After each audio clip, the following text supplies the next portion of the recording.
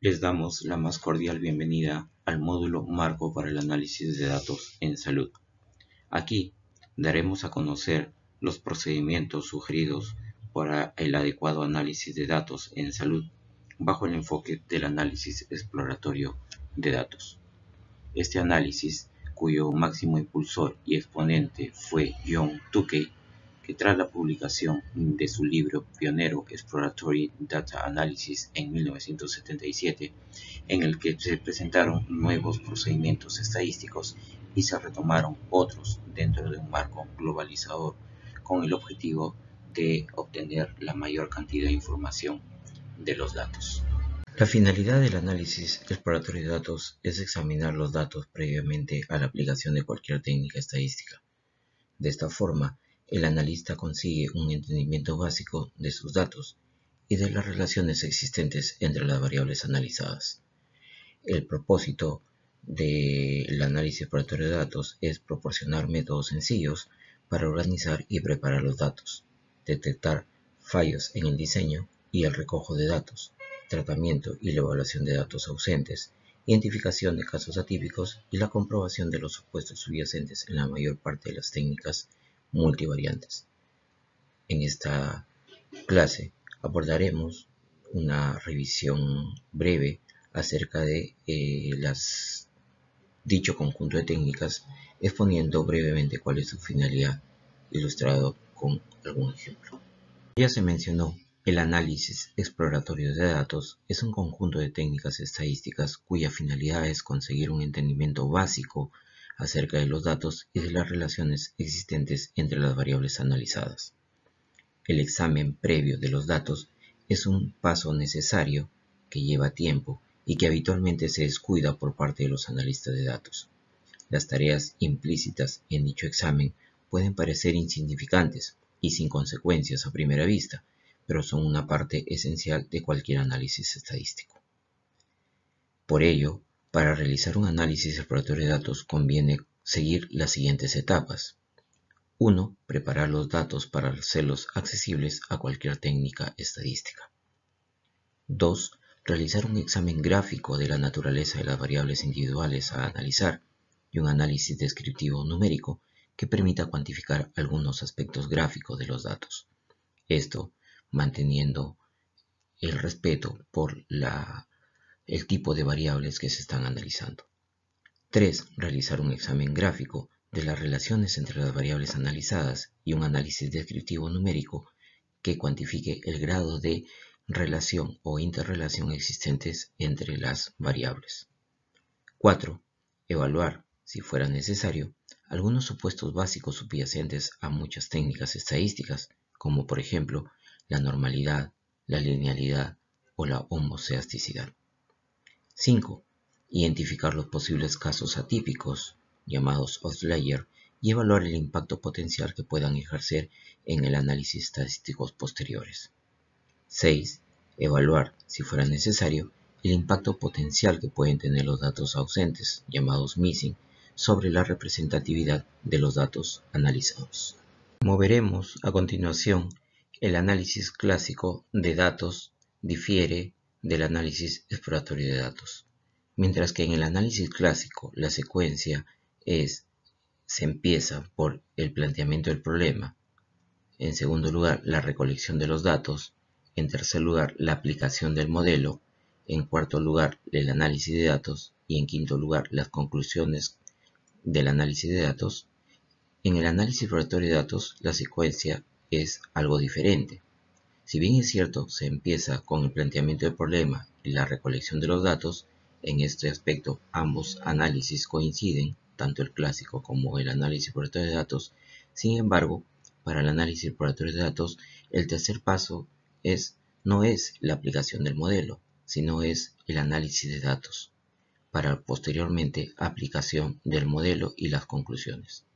Es en este tercer paso en que radica la diferencia entre el análisis clásico que se suele realizar y el análisis exploratorio de datos que utiliza la estadística descriptiva tanto generando estadísticos descriptivos como gráficos para el análisis de datos. A continuación se presentará un ejemplo de aplicación. se está evaluando dos medicamentos, amantidina y rimantadina, para combatir el virus de la gripe. Se han administrado por vía oral dosis únicas de 100 miligramos a adultos sanos. La variable estudiada es el tiempo requerido en minutos para alcanzar la concentración máxima de plasma. A continuación se presenta el gráfico de cajas de los datos correspondientes al tiempo para cada uno de los dos medicamentos.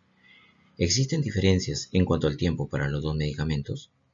Como se observa, aquí la variable de interés es una variable de tipo cuantitativo, que es el tiempo requerido para alcanzar la concentración máxima de plasma.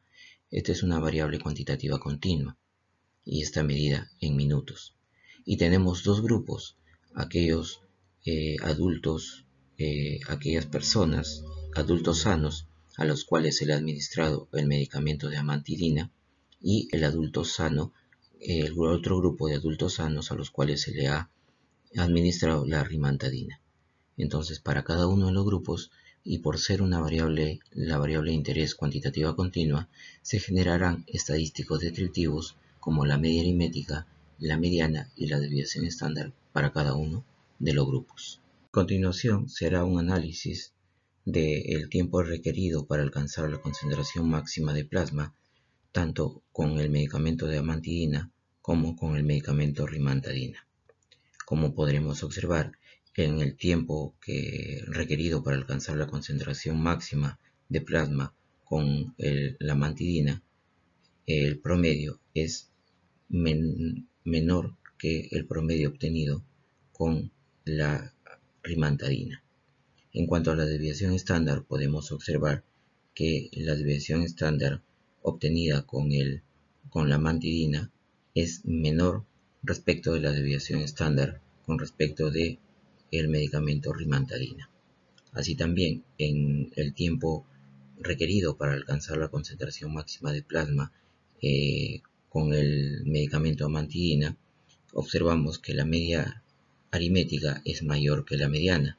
Esto nos, quiere, nos da una, una idea de que posiblemente puede existir una asimetría negativa.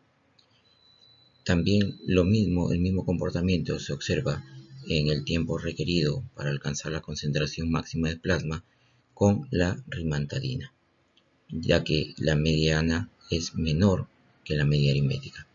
Esto, como repito, nos está dando una posible idea de una ah, distribución asimétrica negativa analizaremos el gráfico de cajas obtenido para el tiempo requerido para alcanzar la concentración máxima de plasma con ambos medicamentos. Cabe recordar que este gráfico es un gráfico de resumen en donde se obtiene la información acerca de una medida de tendencia central que es la mediana. Se puede analizar la dispersión de la variable en ambos grupos. Se puede analizar la asimetría y además es el gráfico que se recomienda utilizar para detectar presencia de datos atípicos. Como podremos observar, el tiempo promedio,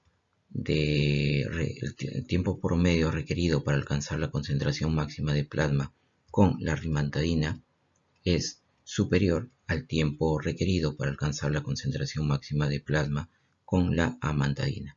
Es decir, aquí ya nosotros estamos observando una diferencia, diferencia en cuanto al tiempo requerido para alcanzar la concentración máxima de plasma con ambos medicamentos.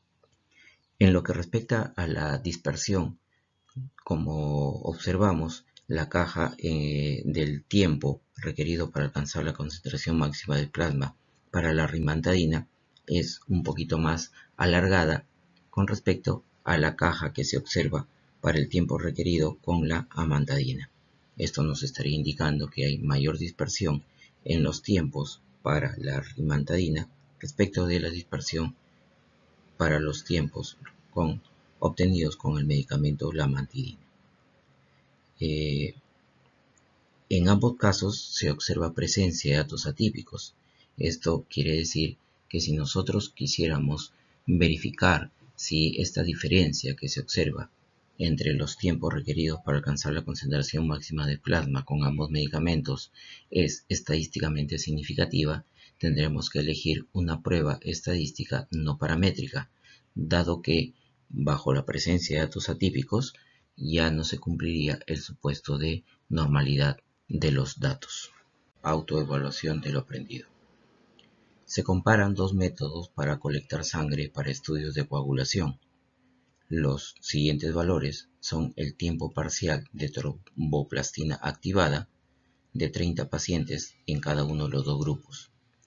Se pide elaborar un gráfico de valores extremos a partir de cada uno de los conjuntos de mediciones. Compare los dos gráficos y respondan a la siguiente pregunta. ¿Indican alguna diferencia en la distribución de los valores del tiempo parcial de tromboplastina activada para ambos métodos? Este ejercicio ha sido extraído del libro de bioestadística de Daniel Wayne. Aquí se presentan los datos para el tiempo parcial de tromboplastina obtenidos con el método 1 y con el método 2. Como podremos observar, se trata de una variable cuantitativa continua que se ha evaluado en dos grupos, en este caso método 1 y método 2. Para responder a la pregunta que se nos plantea, debemos primero de eh, calcular estadísticos descriptivos como la aritmética la mediana, la desviación estándar y los coeficientes de asimetría y de curtosis para comparar el tiempo parcial de tromboplastina con ambos métodos. Una vez que se han generado los estadísticos descriptivos, se procederá a calcular eh, o generar el diagrama de cajas para observar si existen o no diferencias entre los dos grupos. Si hay presencia de datos atípicos, entonces la variable no tendrá distribución normal en cualquiera de los grupos que presente datos atípicos. Si los datos atípicos se presentan en ambos grupos, entonces tendremos que decir que la variable no presenta distribución normal. Por lo tanto, se tendrá que verificar las diferencias del tiempo parcial de tromboplastina utilizando una prueba no paramétrica, como es la prueba de para resumir los temas que se han tocado en esta presentación, diremos que se ha revisado la definición del análisis exploratorio de datos y la importancia que tiene esta técnica para el análisis de datos. Los procedimientos que se emplean en el análisis de datos son el cálculo de los estadísticos descriptivos y la generación de gráficos. Se aconseja realizar el análisis de cada una de las variables que intervienen en su estudio. A este tipo de análisis se le llama análisis univariado y posteriormente se prosigue con un análisis bivariado, es decir, se analizarán las relaciones de eh, variables 2 a 2. Cómo se comportan la relación, cómo se comportan dos variables a la vez. A eso se le llama análisis bivariado. Mm, cabe destacar y mm, que el análisis exploratorio de datos siempre se tiene que realizar utilizando o calculando estadísticos descriptivos y, y no solamente ellos, sino apoyándonos en el análisis de gráficos.